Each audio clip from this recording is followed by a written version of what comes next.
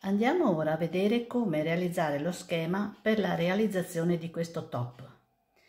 Per riuscire a realizzarsi questo top bisogna partire dalla base di un corpino. Adesso ve lo spiego come si fa a costruirsi per prima cosa la base dell'abito a tubino che ci servirà appunto per la realizzazione del nostro top. Devo prendere per prima cosa un foglio